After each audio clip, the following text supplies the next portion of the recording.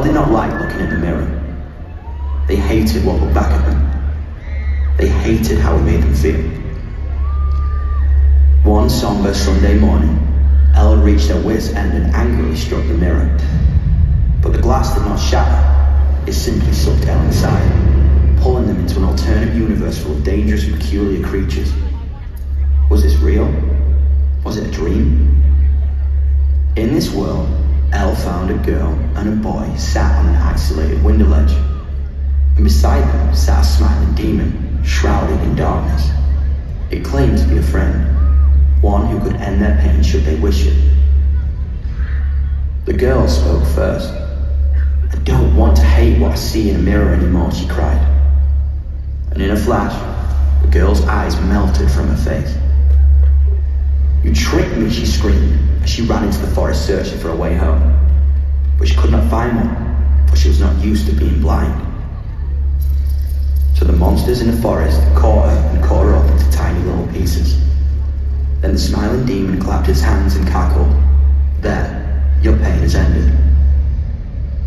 Undeterred by this, the teenage boy spoke next. I don't want to think bad thoughts anymore, he said. And in a flash, the boy's mind grew silent. Without a word, he ran into the forest searching for a way home, but he could not find one, for his mind could no longer think which way to go. So, the monsters in the forest caught him and cut him up into tiny little pieces too. And the smiling demon clapped his hands once more and said, There,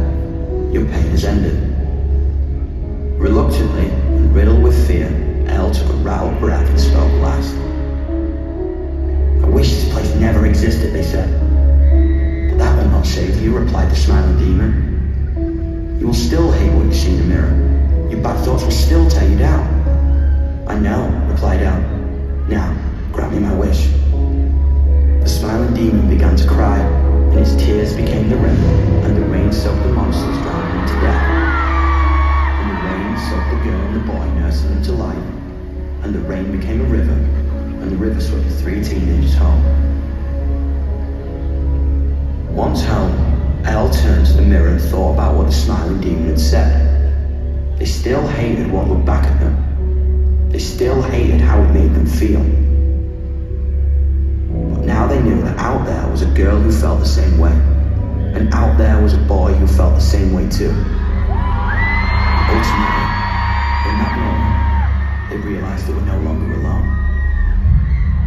Neither are you.